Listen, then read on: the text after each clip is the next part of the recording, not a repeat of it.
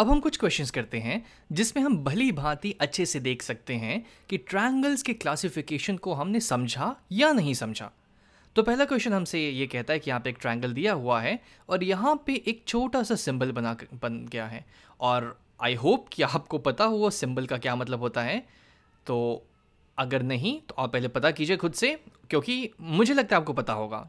इस सिंबल का मतलब होता है कि ये जो एंगल है angle B A C angle B A C ये होगा 90 डिग्रीज। ठीक है? तो इस ट्रायंगल में एक एंगल 90 डिग्री हो गया। अब हमसे क्या कहा गया है कि classify triangle A B C by its angle तो ये अक्यूट एंगल नहीं है, क्योंकि इसमें 90 डिग्री है। Obtuse angle obtuse angle triangle वो होता है, जिसमें एक एंगल 90 डिग्री से ज़्यादा होता है। तो ये हुआ राइट एंगल ट्रायंगल क्यों? क्योंकि इसमें एक एंगल 90 डिग्री है। तो लेट्स सी हम लोग सही है या नहीं। लेट्स चेक कैन ये answer is correct let's go to next question classify triangle D E F by its angles again तुमको यहाँ पे एक 90 डिग्री एंगल दिख रहा है तो इसमें तो चेक करने की कोई ज़रूरत नहीं। हम लोग डायरेक्टली कह देंगे कि राइट एंगल ट्राइंगल ही होगा and we are correct next question classify triangle G H I by its angle अब ट्राइंगल जी एच आई अब हमको बताना है कि अक्यूट एंगल है या ऑप्ट्यूज एंगल है या राइट एंगल है।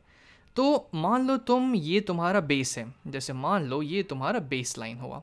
अगर मुझे इस पर नाइन्टी डिग्री बनाना होता तो मैं क्या करता? ठीक इसके अपराइट ठीक इसके स्ट्रेट मैं एक लाइन खींच देता। तो ये वाला एंगल मेरा 90 डिग्री हो जाता। लेकिन यहाँ जो ये वाला लाइन है, ये तो 90 डिग्री से ज़्यादा लग रहा है मुझे। तो अगर 90 डिग्री से ज़्यादा कोई एंगल हो जाए तो ऑप्ट्यूज एंगल हो जाएगा।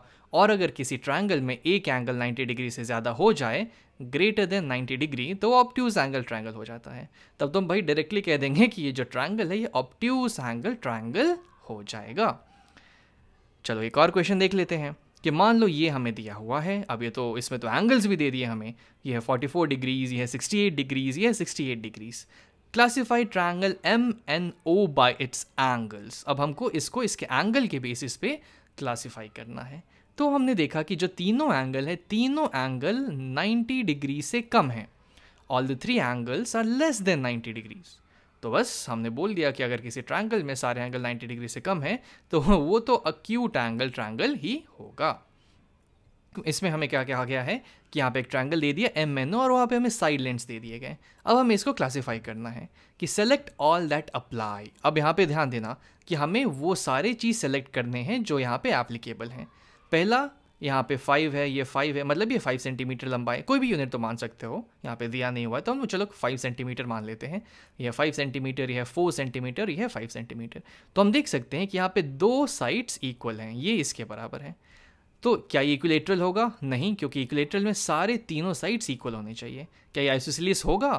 तो हाँ बिल्कुल होगा, क्योंकि दो साइड इक्वल हैं। तो हम इसको मार्क कर देंगे, और लेट्स चेक और हमारा आंसर सही है। गुड अगली कैटेगरी पे देखते हैं। ये हमें क्या क्या दिखा रहा है यहाँ पे? कि classify the triangles below a scalene और आइसोसिलिस तो इसको जल्दी जल्दी निपटा देते हैं। स्किलीन यहाँ पे तीनों साइड इक्वल हैं। तो स्केलिन तो ये हो ही नहीं सकता। लेकिन क्या ये आइसोसिलिस होगा?